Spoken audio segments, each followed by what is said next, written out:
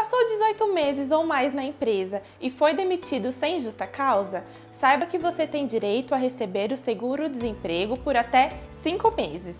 Nesse vídeo, vou te ensinar como consultar a habilitação desse benefício sem sair de casa.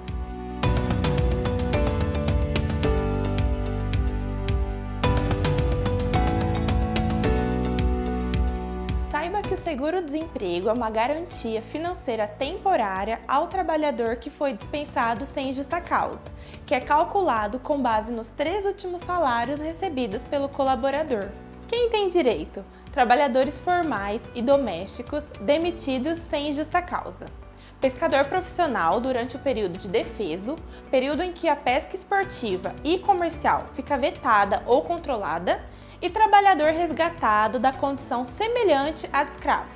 Além disso, para receber o benefício é necessário estar desempregado. E você deve estar se perguntando: como pedir? Quando o empregador entregar o requerimento do benefício ao trabalhador, ele deverá ir até uma agência da Caixa Econômica Federal ou ao Poupa Tempo com esse requerimento e os demais documentos em mãos cartão cidadão, RG, CPF e número do NIS registrado na carteira de trabalho. Para saber se o benefício foi aprovado ou não, será necessário fazer uma consulta de habilitação do seguro-desemprego no site ou no app. Pelo site, entre no site da Caixa Econômica Federal, clique na aba Benefícios e Programas. Selecione Seguro-desemprego.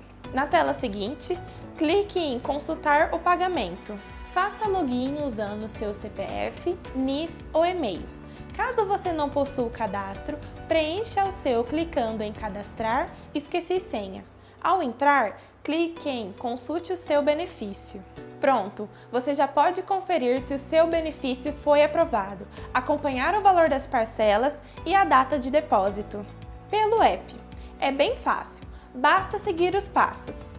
Baixe o aplicativo Caixa Trabalhador no seu celular, abra o app e clique em Acessar. Faça login usando o número do NIS. Na aba Consultas, clique em Seguro Desemprego e pronto. Vem descomplicar os bancos com a gente!